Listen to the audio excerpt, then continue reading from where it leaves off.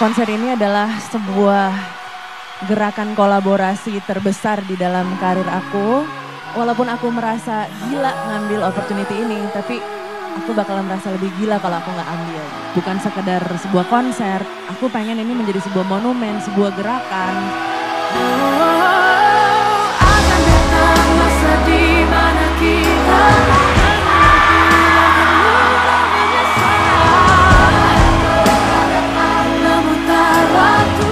ngerasa kalau misalkan aku melakukan ini, ini adalah salah satu cara juga untuk mendukung woman empowerment dan juga generasi kita.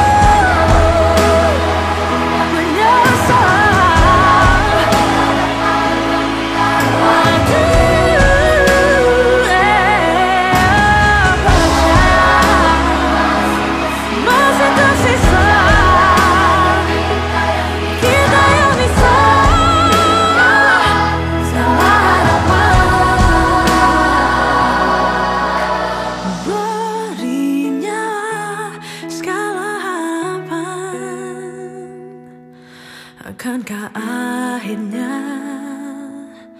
kita sadari?